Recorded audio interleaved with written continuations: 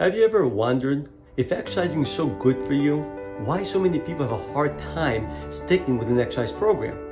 There are a few reasons for that, but the main reason has to do with the fact that exercising goes against human nature. Think about it. The human body is constantly trying to conserve energy.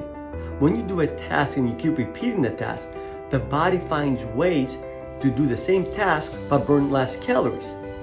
If you look at uh, people in healthy regions, or even in the old days uh, in the Western world, when people were a lot more active, all the things that people did that kept them in shape, all the activities, they didn't do those activities because they wanted to be in shape.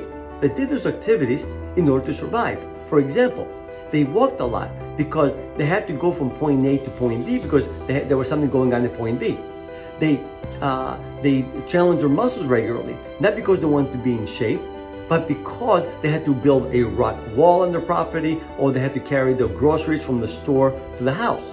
If you look at exercising, you basically uh, burning calories, okay, just for the sake of burning calories to uh, help your body stay in shape, but you're not accomplishing anything. And that is where the problem is. You see, uh, it's like running the engine and not going anywhere with your car. You're just running the engine just to burn gas the body does not like waste. So walking on the treadmill, it doesn't exactly come naturally because you're burning all these calories and you're not going anywhere. Now, the, here's a perfect example actually. Look at sports. Uh, look, compare playing a game, like a basketball game, let's say, to working out. When you play the game, you put a lot more effort into it. You will run up and down the court. You'll be dead tired at the end, but you had a lot of fun. Why? Could you put the same effort in working out? Most people cannot. Why is that?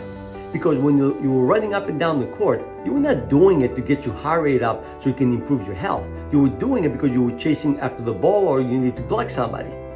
So here is the one of the best ways I found to add uh, activity to your day and challenge your muscles and your cardiovascular system without burning yourself out.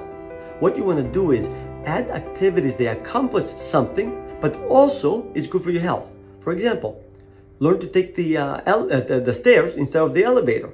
Try to carry your groceries. Even if you're going up the stairs, carry your groceries up the stairs. The next thing you could do is make exercising a habitual behavior. So you engage in it without thinking. The key is that you do it without having to spend any time thinking, which means no motivation is needed. Now, obviously, uh, how do you make exercising uh, habitual is another whole conversation for another video. But anyways, these are the two best ways I found to add activity to your day and get all the benefits without burning yourself out.